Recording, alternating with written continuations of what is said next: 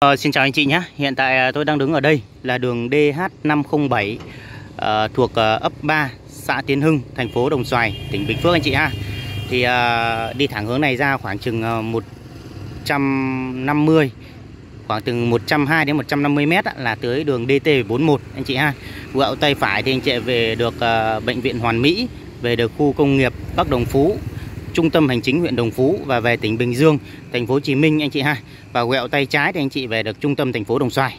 À, và ngay sau lưng tôi đây, à, ngay sau lưng tôi đây là đường DH507 nhưng mà hướng về huyện Phú Giáo tỉnh Bình Dương, hướng về quốc lộ 13, à, đi Trơn Thành, đi Tây Ninh, à, đi Củ Chi anh chị ha, là hướng này nhá anh chị nhá.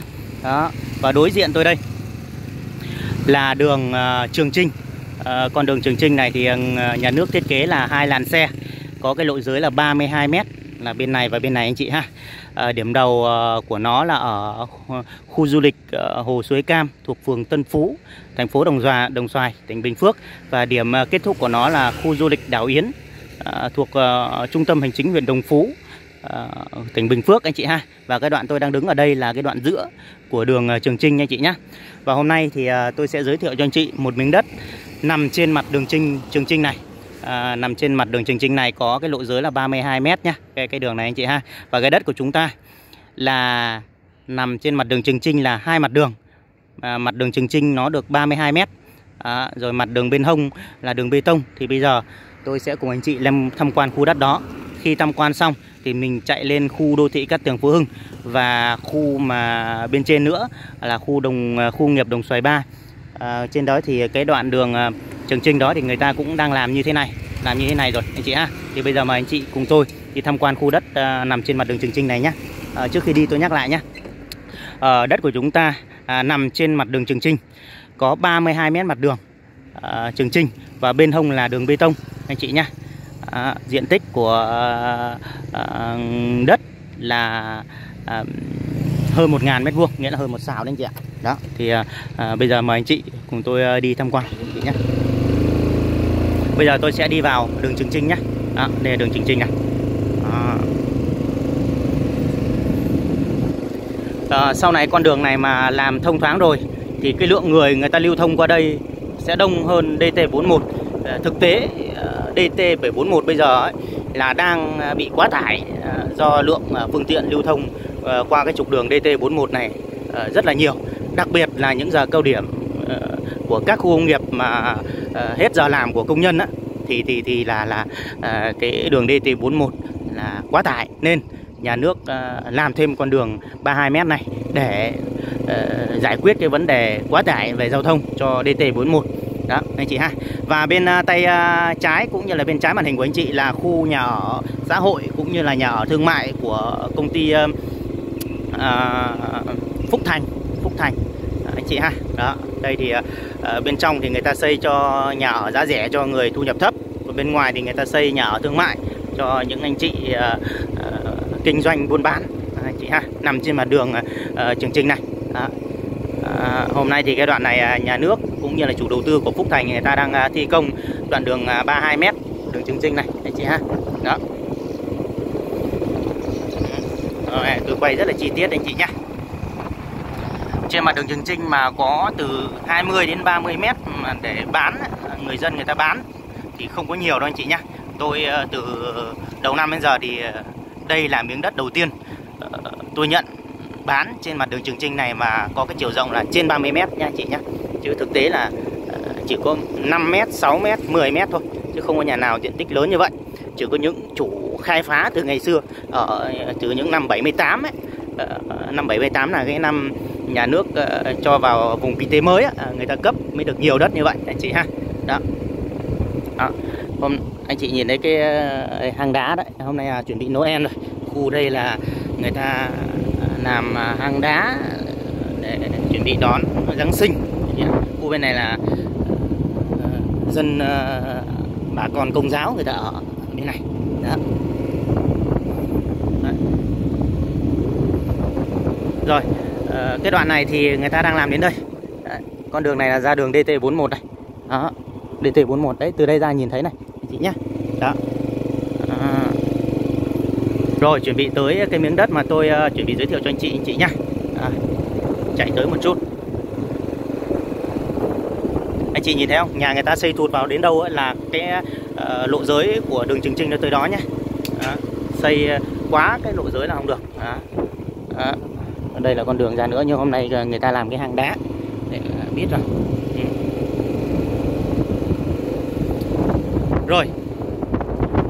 Miếng đất của tôi ờ, chuẩn bị giới thiệu cho anh chị là miếng này anh chị nhá. Là miếng này anh chị ha. À, tôi tắp về bên này tôi giới thiệu cho anh chị cho nó ờ, chi tiết hơn. Rồi. Đây. Cái miếng đất tôi giới thiệu cho anh chị là miếng này anh chị ha.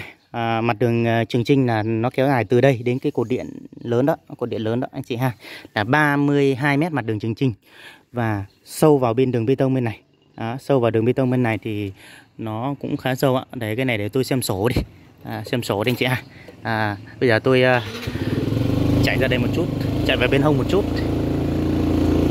Chạy về hông một chút nhá. Tôi cũng chưa biết nó, nó sâu bao nhiêu nữa. Đây đây, à, đây. nó tới chỗ khu này này.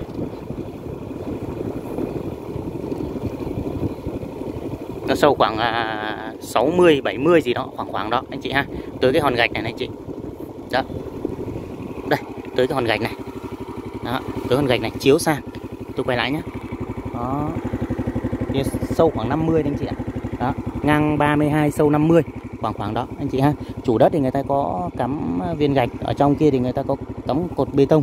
Thì chút nữa tôi với anh chị cùng tham quan xung quanh cái miếng này anh chị nhé rồi giờ mình quay lại đây nhá từ đây nhá. Đó. đi. Hai mặt đường. Một là mặt đường bên hông một là mặt đường trường trinh anh chị ha đây đây là mặt đường trường trinh này. Đó. rồi tôi ra cái cột điện tôi đứng nhá. À, đây. Bắt đầu tính từ đây đi.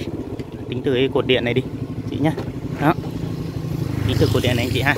Đối diện miếng đất của mình nó có cái ngã ba này à, cứ đi thẳng đường này ra khoảng chừng 150 à, mét y như đầu dưới luôn là ra được DT41 anh chị ha. Ra được DT741 anh chị nhá. Và đi thẳng lên đây có cái chỗ ô tô kia nó đang đậu à, chỗ đó là khu đô thị Cát Tường Phú Hưng. Thì từ cái vị trí tôi đang đứng lên khu đô thị Cát Tường Phú Hưng nó rơi vào khoảng 108 109 là tới khu đô thị Cát Tường Phú Hưng anh chị ha. Đó. còn bây giờ mình vào vườn mình tham quan. À, xung quanh vườn.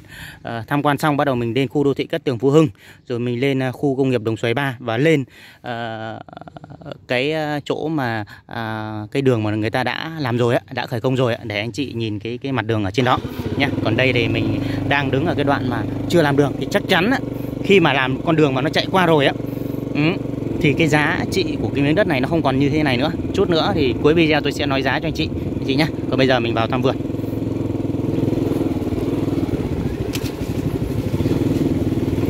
Chị chờ tốt tôi chốt để tôi ờ, để xe.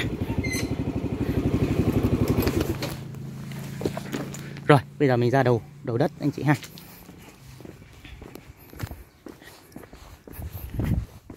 Như ờ, tôi vừa có chia sẻ anh chị là bên hông là có cái đường bê tông đây.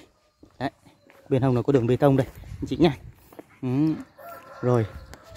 Trước mặt là đường Trường Trinh. Đó, đường Trường Trinh này. Đây là đường Trường Trinh anh chị ha. Quẹo vào đây là ra DH507 cái đầu video tôi vừa quay cho anh chị. 150m quẹo tay trái là ra được DT41 Quay lại đây 200m nữa khoảng 180 đến 200 nữa là ra được khu đô thị Cát Tường Phú Hưng. Rồi tiếp tiếp tới là khu công nghiệp Đồng Xoài 3 Và tới cái đoạn đường Trường Trinh đang làm. Người ta làm từ dưới lên và à, từ từ trên kia xuống đây. Và cái đầu video thì làm từ từ dưới kia lên đây. Nghĩa là cái đoạn đường này từ giờ đến Tết là giải phóng Giải phóng hết anh chị ha. Rồi bắt đầu từ đây nhé à, trước khi ờ, đi tôi chia sẻ lại này. Từ đây về cuối đất là 50m từ đây về bên này là 32m nghĩa là 32m đường Trường Trinh và 50m mặt đường bê tông này. Bây giờ bắt đầu từ đây anh chị ha.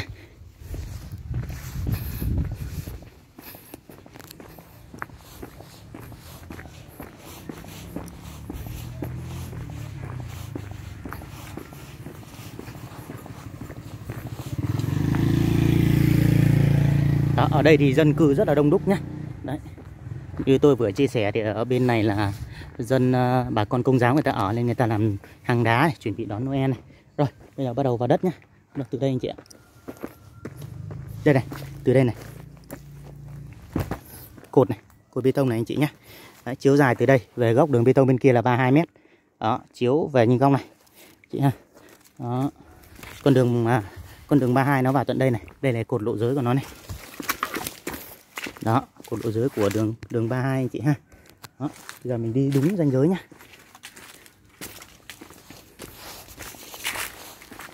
đi đúng ranh giới này, tôi quay lại này. Đây nha. Đó, ngay ngón tay tôi chỉ đây. Đi thẳng xuống đây. Anh chị nhá đất này vuông như một cái bàn cọp luôn.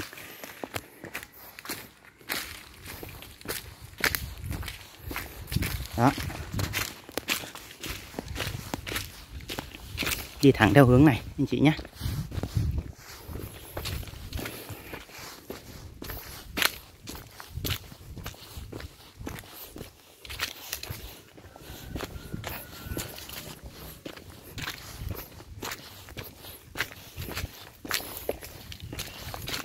Rồi, anh chị thấy không ạ? Đây, cái cột bê tông này. Đó, đến đây là hết đất của mình nhá. Chiếu dài đến đường bê tông bên kia à 32 mét. Chiếu lên cái đường Trường Trinh là 50 mét anh chị ha. Rồi bây giờ mình ra đường bê tông. Đó.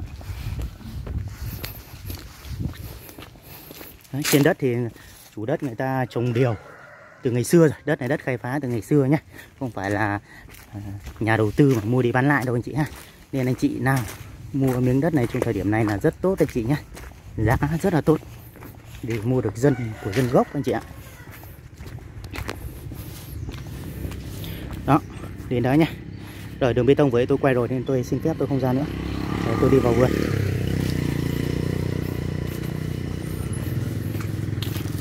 Ở đây ờ, ông chủ trồng rất là nhiều mai. Quá trời mai luôn. Đó.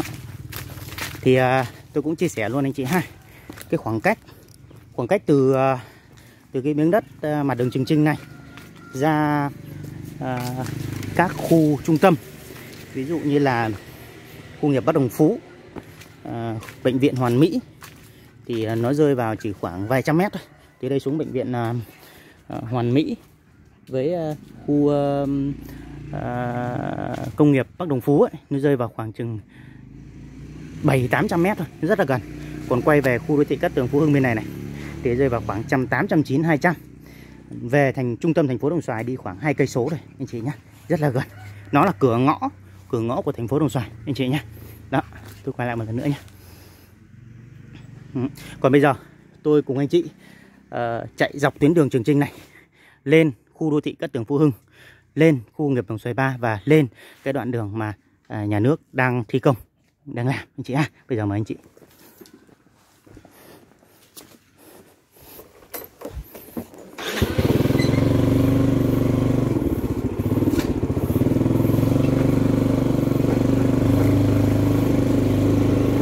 giờ mình cùng đi nhé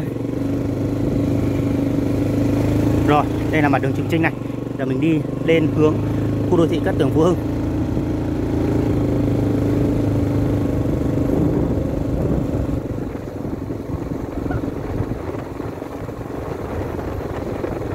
Đây à, con đường Trường Trinh hôm nay à, nhà nước người ta làm tới đây ở đây. Đó đoạn này người ta đang hạ cống này. Đó, thì ờ, không lâu đâu khoảng trước Tết thôi, là người ta làm đến đất 32 mét. À, mà à, tôi vừa giới thiệu cho anh chị. Đó. Chị ha. Khi con đường này mở ra thì à, sẽ đón nhận cái lượng lưu thông qua đây rất là đông đúc, anh chị ha. Thay vì khu nghiệp Đồng Xoài 3 thay vì khu nghiệp Bắc Đồng Phú, người ta phải đi DT41 thì sau này người ta tan ca, người ta đi sau khu công nghiệp là người ta ra người ta gặp con đường này rồi. Là người ta đi con đường này luôn. Anh chị ha rồi. Đây. Đây là khu đô thị Cát Tường Phú Hưng anh chị ha. Đó. À, tôi xin phép à, đoạn này đang làm đường này tôi vào khu khu đô thị.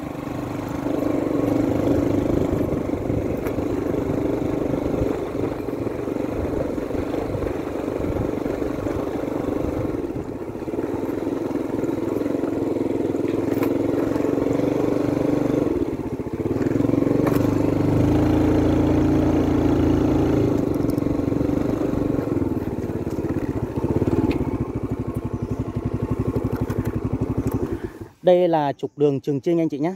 Đây là trục đường Trường Trinh. À, mình à, quẹo ra đây khoảng chừng hơn 100 mét nữa là gặp đường DT41 là đường này ạ. Đó. Và bây giờ mình sẽ mời anh chị lên tham quan khu nghiệp Đồng Xoài 3 khu nghiệp, khu nghiệp Đồng Xoài 3 anh chị ha. Đó đây. Đây mình quay cho anh chị xem. Đây đây là đường Trường Trinh lộ giới 32 mét nhé anh chị nhé. À, chủ đầu tư các tường Phú Hưng người ta có để cái bảng đây. Còn đây là đường Trường Trinh này về phía cái miếng đất của mình lại đi hướng này. Từ đây xuống đó khoảng gần 200 mét thôi. Anh chị ha. Còn đây là trục đường chính của khu đô thị của họ này. Đó khu đô thị của họ này. Tới đây người ta giải phóng con đường này đi thẳng ra ngoài kia. Anh chị nhé rồi bây giờ mời anh chị cùng tôi đi uh, tham quan cái, cái, cái miếng đất đó. À xin lỗi tham quan khu uh, uh, công nghiệp Đồng xoáy 3 cũng như là khu uh, uh, cây đường Trường Trinh đã làm rồi. Anh chị ha.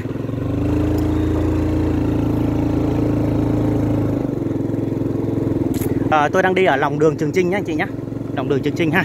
À, tôi uh, hơi nghiêng camera về bên uh, khu đô thị Cát Tường một Phú Hưng một chút anh chị nhé anh chị nhìn thấy không ạ? À, bên kia là cái chỗ mà người ta vây tôn á đó là người ta bỏ mấy hecta ra để làm siêu thị nhá khu thương mại. À, anh chị ha. Đó. Đó. Những cái vườn cao su mấy vườn điều á, là toàn là dân gốc à, người ta mới giữ được như thế này rồi anh chị nhá nhà này người ta không bán đâu. Đó. khu này rất là đẹp anh chị ha.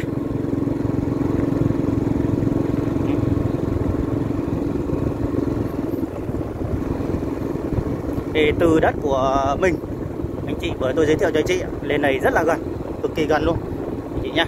Đó.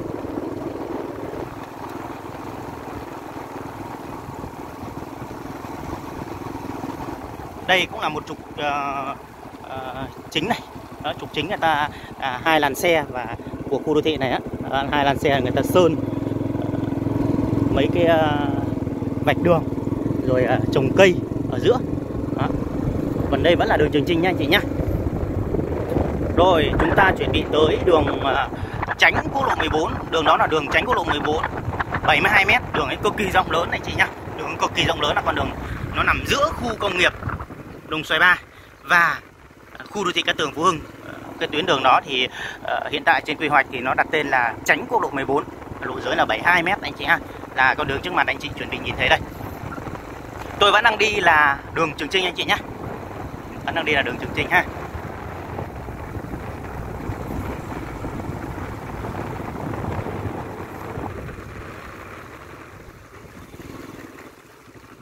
Rồi, cái tuyến đường vừa tôi nói là đường tuyến đường tránh quốc lộ 14 72 m là tuyến này nhá. Đây, tuyến này đây. Đó, đi thẳng hướng này ra là ra được quốc lộ 14 xã Tân Thành đi về Trơn Thành, đi về uh, Bến Cát, Bầu Bàng, Tây Ninh, Củ Chi được là đi hướng này. Đó, còn quay ra đây thì đi về thành phố Đồng Xoài và các tỉnh Tây Nguyên anh chị nhá. Nhưng mà đường này nó lớn lắm, nó tận 72 m rồi. Rồi, bây giờ tiếp tục mình đi uh, qua hướng ờ, khu nghiệp Đồng Xoài 3 rồi ra đường Trường Trinh đã làm rồi anh chị ha. Rồi tôi xin phép à, đi tắt qua đây nhé. Tại vì à, đường Trường Trinh là nó đi thẳng. À, Đi thẳng. À, Còn hiện tại thì nó chưa có, có, có đấy Rồi đấy. Đường Trường Trinh nó nằm bên này, này. À, Nằm bên camera à, tôi đang quay đây. Đó cái khu mảng đất trống này là lòng đường Trường Trinh nha anh chị nhá. Kia kia là khu nghiệp đồng xoài bài. Đó.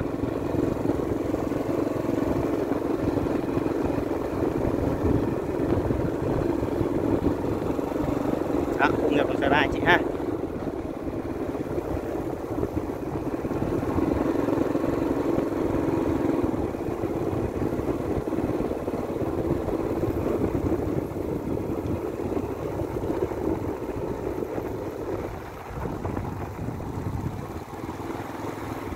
Rồi bắt đầu tôi vào đường Trường Trinh này. Đây lại đường Trường Trinh này. Cái nhà này mất luôn này anh chị nhá.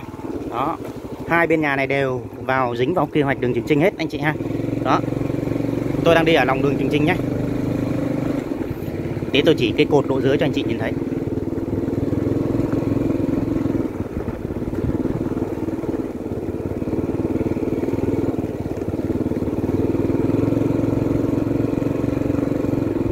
Đến đây nó điều chỉnh sang bên này này. Đó, bên này nó ăn uh, tới. Đó. nhà nó điều chỉnh hết sang bên này luôn. Đây nên anh chị mới thấy có một ngôi nhà người ta đang xây đấy. Đó.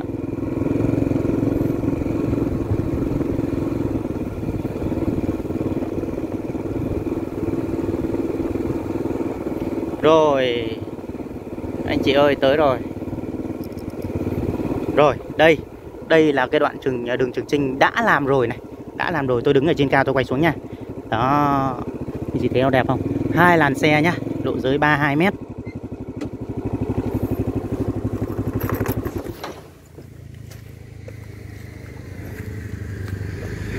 Đây là lòng đường Trường Trinh nhá.